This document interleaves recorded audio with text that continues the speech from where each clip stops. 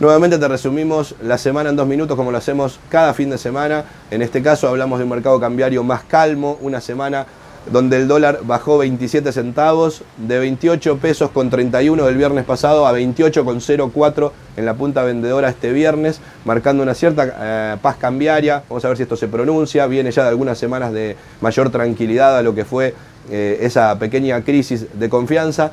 Y después datos económicos como 5,8% de caída en la actividad económica marcan eh, bueno, el golpe que dejó la crisis, las consecuencias, pero hay que sumar algunos datos nuevos, como por ejemplo una cierta repunte en la confianza del consumidor, como em, se hizo una medición de nivel de depósitos bancarios en dólares y es superior a la precrisis, o sea, hay cerca de 31 mil millones de dólares de depósitos bancarios eh, que son mayores a antes de la volatilidad marcada en los meses de mayo y junio, lo que eh, muestra que si bien hubo dolarización, no hubo escape del sistema financiero. Sí se pasó de pesos a dólares, pero no se salió del sistema y eso es eh, hoy una buena noticia en cuanto a volver a generar confianza. Vamos a ver si esto se puede, hay aumentos que se van a conocer el fin de semana, esto conspira contra bajar la inflación, es una de las apuestas del gobierno, reducir el déficit, bajar la inflación y bueno, poner a rodar la economía.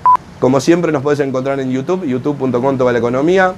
Eh, mi nombre es Rubén Granados, nos encontramos muy pronto con otro informe eh, semanal económico de dos minutos.